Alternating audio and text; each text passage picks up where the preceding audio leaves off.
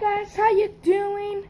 Make sure to check out all my videos, subscribe, turn on notifications, and give a big fat like. And I got one thing to tell you guys. Um, uh, what the hell? I already forgot what I was gonna even freaking say. Wait a guys. Oh, if you have questions that you would like to, if you have questions that you want me to answer, go to my chan my YouTube channel, Christopher Mora. It's obviously not in the link description below because this is my channel, guys.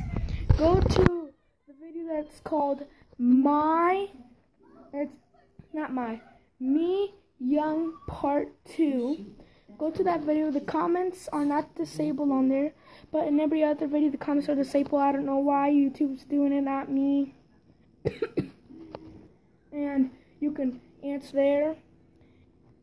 And um, hopefully in a video in like a day or two I will give you guys some answers. So if you want some questions answered, if you want questions, just write on, just do it on comment on me young part two my video. and hopefully in a day or two I will, I will do a video about it about answering the questions that you guys have maybe you guys will even get a shout out. That's it for today, guys. Bye. Have a great day.